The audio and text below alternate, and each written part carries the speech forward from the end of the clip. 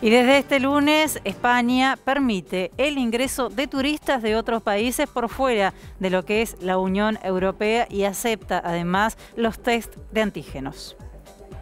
España reabrió hoy sus fronteras para viajeros vacunados contra el coronavirus en busca de reactivar el turismo en su temporada de verano, una actividad devastada por la emergencia sanitaria en el mundo. La condición para entrar es haber recibido la vacuna completa al menos 14 días antes de llegar y solo de los laboratorios Pfizer, Moderna, AstraZeneca o Johnson Johnson, autorizadas por la Agencia Europea de Medicamento, y de Sinopharm y Sinovac, Coronavac, autorizadas por la Organización Mundial de la Salud. Eh, aquí los controles con eh, la planilla que estamos llenando online, la verdad fue súper rápido no me puedo quejar. Quien completó bien los datos, tiene las vacunas y viene con el PCR, no tiene inconveniente.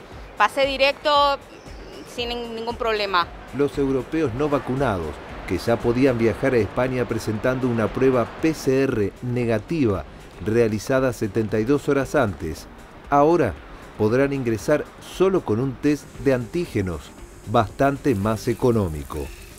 El ingreso está habilitado desde este lunes para turistas de todo el mundo, a excepción de la India, quienes deberán hacer sí o sí una cuarentena de 10 días, mientras que todavía no pueden ingresar viajeros de Brasil y Sudáfrica, donde los índices de contagios siguen siendo muy altos.